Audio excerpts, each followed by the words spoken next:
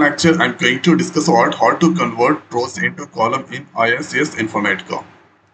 So this is your incoming or source data and after performing the mapping inside of IICS then we need to get data like this. So you can see account number currency this all in rows and after performing you can see this all converted into the columns. So let's see the mapping. So I already created the mapping to save some time. So let's check here. Source first. So source here you can see. This is the customer table that I'm using. This customer table. And the next is if I click on this preview data then you can see this data that's present there. Col1 col2 is the column. And connection HR connection this is the object Thereafter, the next is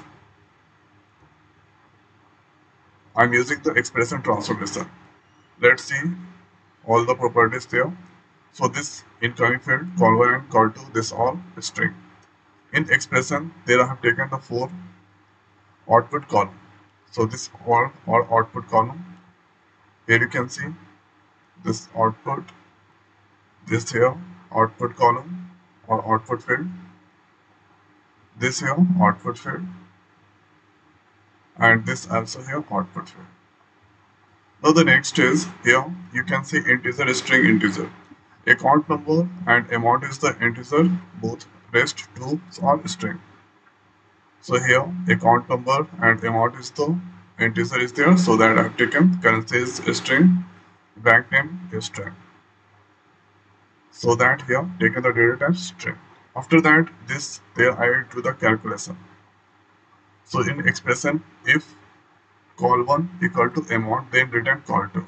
So here, if call 1 equal to amount number, then that return call 2. So this value that return. Okay. So if this has column, then that value return. Then after the next is this here if call 1 equal to currency, then that return call 2. If call 1 equal to currency, this value, then that return currency, INR that return. Like that way, other is, if call 1 equal to amount, then return call 2. So if this amount is there, then that return call 2. Thereafter, the next is here, if call 1 equal to bank name, then that return col2. So this is back then the call to. So after that, if you validate this all valid is there, this is the things I've done inside expression transformation. I'm using the aggregator transformation. So let's see all the properties inside aggregator. So here this is the incoming field is there, this all and uh, this all is there. So let's make that group by so if you if the uh, column has any or duplicate values, so we can make that into the group by. So let's add here column into the group by. After that, inside aggregator, then I have taken output field of account number and this all second is output field of amount bank name output field and this here currency also output field. So since uh, account number and bank uh, here amount both are integer, so here you can see account number and amount is integer so that I have taken the integer and rest is now string. Both two are string. Then I have set this expression max o account number. So here this account number that was set here max value of account number. And here the same thing amount that max amount. So whatever the amount is there that is stored into the amount. Then max or, or bank number then this go to the bank number. So like that currency that go to the currency. So this uh, are things that I have done inside aggregate transformation. Now the next is here let's select the target and inside the target you can see this all are incoming fields. So in the output we need to get here in output we need to get account number amount bank name and currency. So here account number this we need to get in the output field so that they have excluded. So if I click there here I excluded call 1 call 2 O account O bank O currency this all excluded. Okay. So this excluded there and I need this fields only. So that there are that excluded this one. After that uh, what we need to do?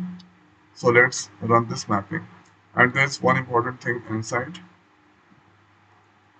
So this here target let's give over here new target field so this is here. Click on the select.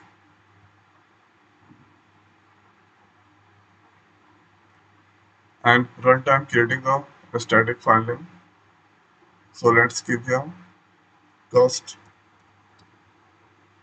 dot csv so this time I'm going to create the cost dot csv file. Let's click ok. So this here cost dot csv now the next is let's click on this save so mapping is now valid. Click on this one. And let's click on this one so mapping is now running. Let's click on this job. So this job is starting there. Let's do some reference. So this is success now. And if I go there raw data and cost CSV file that's created so since I have make, a, make that maybe sorted into renewable so that this or garbage value kind of output that's displaying so what we need to do so let's go back to this mapping and here let's check that.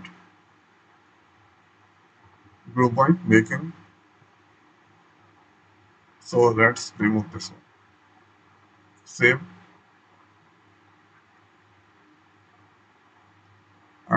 and rerun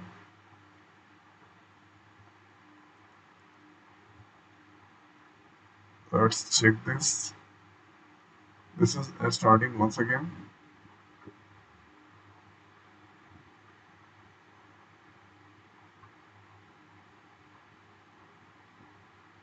This is success now. And let's go on into this. So here this time it's getting the output in the correct format so in aggregate transversal you don't need to make that into a group by so let's compare with the input and output. So this is the input is there and a account number the value is now then displaying this all 4 5 7 this is amount this here displaying next is bank name bank name displaying SBI currency is now INR that's displaying. so this all are in rows after performing this or mapping transformation in IICS then you can see this rows that's converted into the columns.